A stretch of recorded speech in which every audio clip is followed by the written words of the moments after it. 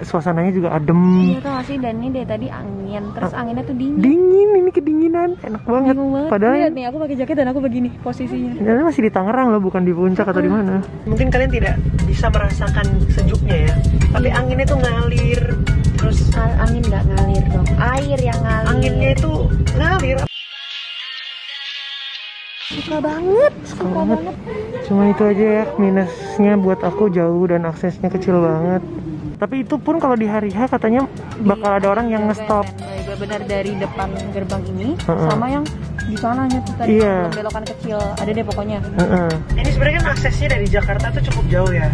Tapi tengah tahun ini katanya tolnya tuh udah dibuka. Bakal Nah, ada tol. ah, ah, dan udah jadi tadi kita lihat ya. Oh iya, gerbangnya udah jadi. Jauh belum dibuka. Kita nggak tahu apakah itu gerbang doang, terus tolnya belum dibangun. masih masih pembebasan lahan nggak tahu. Tapi kalau misalnya itu udah jadi. udah jadi enak banget cuma 3 menit dari pintu tol. Iya, ini kalau misalnya nggak jam pulang kantor, misalnya ntar kelarnya jam 9 gitu atau jam 8 Iya. malam. 15 menit bisa nyampe sini. Iya sih. Pengelolanya keluarga tadi kakak adik itu. Iya. Baik banget lagi. Iya. Gimana ya teman-teman? Coba kalian komen di bawah. Nah, kalau aku ini tadi masuk tenang loh hatiku maksudnya kayak Iya iya This is it, sama-sama. gitu. Masuk yang ini tuh rasanya kayak yang kayak gini nih